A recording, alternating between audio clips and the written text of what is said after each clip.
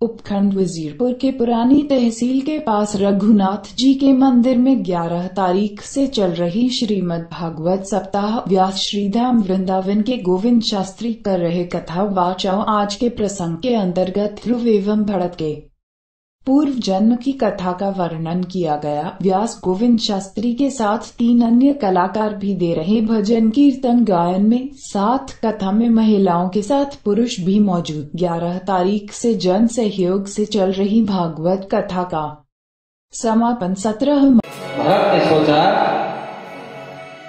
कि देवी रखवाला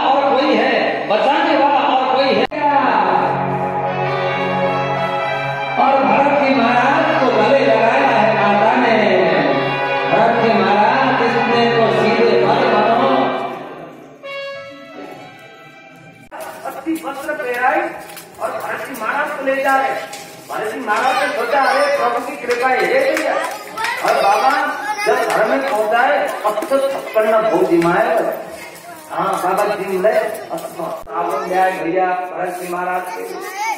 अस्थि टेंपो मंगाई भैया, बड़े महँगे महँगे टेंपो मंगाया।